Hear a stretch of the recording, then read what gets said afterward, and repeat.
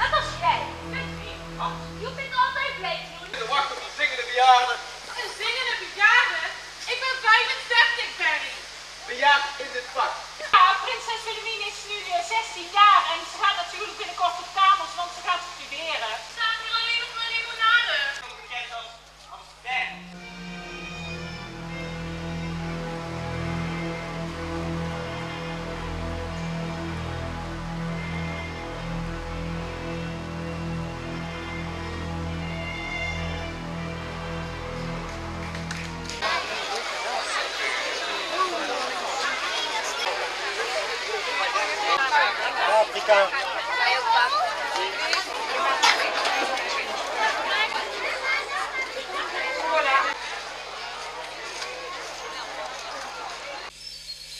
Ja, nu het pauze is, kunnen we even terug in de tijd.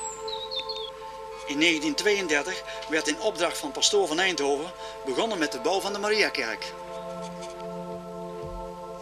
En in 1935 werd de Lourdeschot met processiepark aangelegd. In het park kwam in 1945 een klein amfitheater. Onlangs werd het theater uitgebreid en kwamen bekende artiesten, zoals BZN, Dimitri van Toorn en onlangs nog Bluff.